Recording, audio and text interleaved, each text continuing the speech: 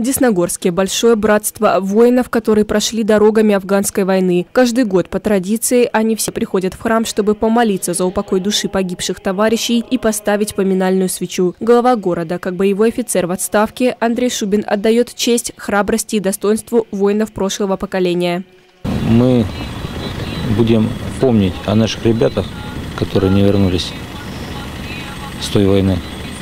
И вообще всех локальных войн заботиться о семьях погибших и вспоминать о них не только вот э, в тот день, когда мы 15 февраля, а это, в принципе, наша долг и обязанность помнить об, э, помнить об этом ежедневно. После поминальной литургии воины-интернационалисты всегда посещают могилы своих товарищей, которые похоронены на Десногорском кладбище. Они молодыми преждевременно ушли из жизни, не перенеся последствий той далекой войны за пределами Родины. 29 лет вывода войск из Афганистана. Здесь собрались мужчины, которые воевали в Афганистане. Нас сейчас в городе 74 человека. Из них 16 человек с боевыми наградами. И вот сейчас на нашем кладбище лежит 8 человек.